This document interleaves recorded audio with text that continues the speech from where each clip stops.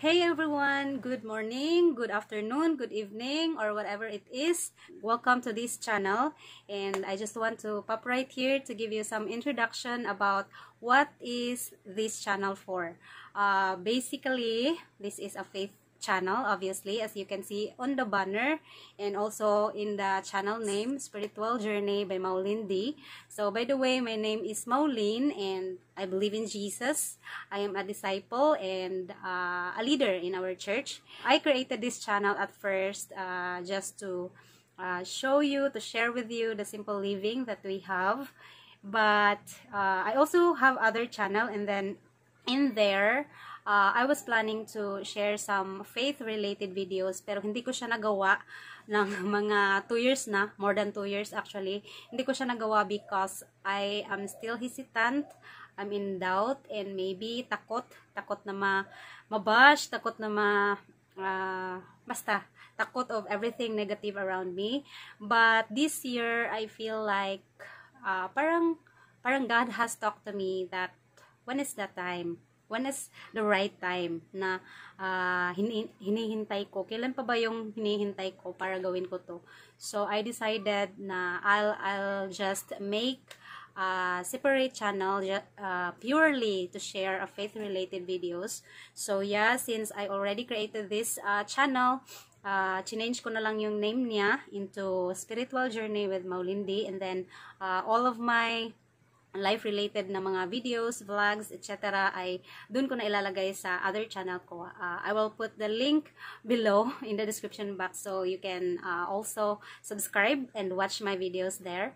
So in this channel, I'll be I'll be sharing you some uh, mga learnings na nali-learn ko sa sa church namin, sa mga mentorings na uh, ginagawa namin, ginagawa ng mentor ko, ng leaders ko, and then also uh, mga messages na uh, parang makaka-help din sa iba na gaya ng how it has helped my life to be transformed in Christ and also uh, yeah, mga mga insights ko from my devotionals and uh, just this and that na mga video, basta faith-related videos and also I'll be sharing uh, vlogs about our life, discipleship life. And uh, by the way, in our church, we have this uh, team, uh, team of 12 because uh, we believe in G12 vision, by the way, if you are familiar. But if not, uh, and then if you're interested, you can comment down below and uh, we can have private conversation if you want to learn or if you want to know something. So yeah, in our church, we have these uh, teams of 12. So uh, there are 12 teams for boys and 12 teams for girls. So I am one of the primary leaders in our church for the girls and our team is named Confident Team. So uh, in our team, we have uh, meetings, gatherings, mga Bible studies. Uh, we call it uh, cell groups, not literal Bible study yung name but uh, cell groups.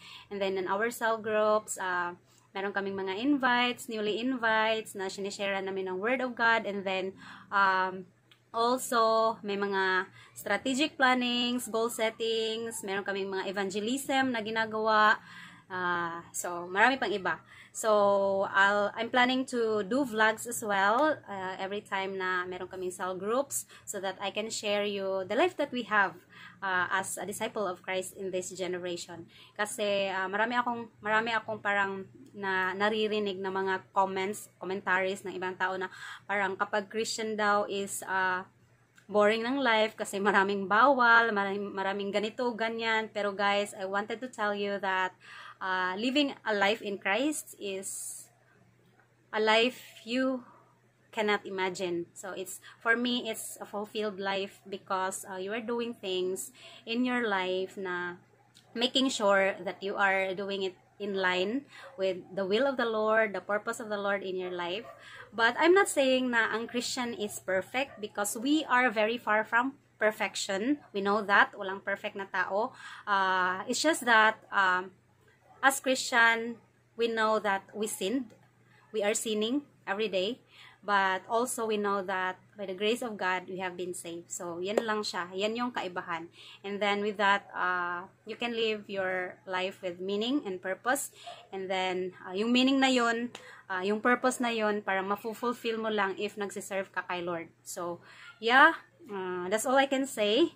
Marami pa akong gustong sabihin, pero hindi ko masasabi lahat in one video. So, as I've said, if you wanna, if you wanna be part of a group or a team like ours, or if you wanna learn more about God, you can connect with us and we are ready to help you so that you will uh, grow closer to the Lord as well. So as I've said in in the banner, let's grow in faith together. So ako, uh, I'm not perfect. Marami din akong pagkakamali, marami akong pagkukulang, uh, marami akong mga hindi nagawa na kailangan kong dapat gawin. But uh, I'm I'm determined na hanggat I'm alive and hanggat hindi pa bumalik si Jesus, may time pa ako to make things better and uh, yung mga hindi ko nagawa, magawa ko na siya ngayon.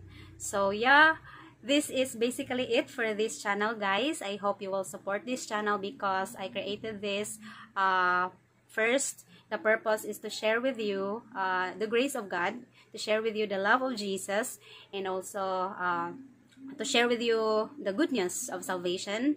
And as well, uh, I'm planning na uh, one day soon, if uh, kikita na ang channel na to, I'll be, I'll be dedicating the, uh, magiging kita ng channel na to is uh, solely for the ministry and to help sa mga iba pang gawain sa church. So, nothing will be for me personally. Maybe uh, may mga ano lang siguro budgeting for uh, mga gears and this and that na mga materials na uh, gagamitin to make the video quality better but this uh, channel and the future of this channel will be for the ministry and for the church alone. So yeah, thank you so much. I hope na naiintindihan nyo kung ano yung gusto kong ipaintindi sa inyo on this channel. And uh, as I've said, this is an introduction and I'll be posting videos from now on about faith in this channel. So, again, thank you so much and please subscribe, support this channel guys because uh, alam kong marami ang matutulungan kapag nag-grow ang channel na to and uh, kahit na hindi pa siya uh, kikita, alam ko na makakatulong to uh, sa mga tao na gustong lumalim yung relationship with the Lord and then yung mga tao na gustong mas makilala si Lord sa buhay nila. And that is it. Thank you so much and I'll see you on my next one. Bye! Don't forget, Jesus loves you.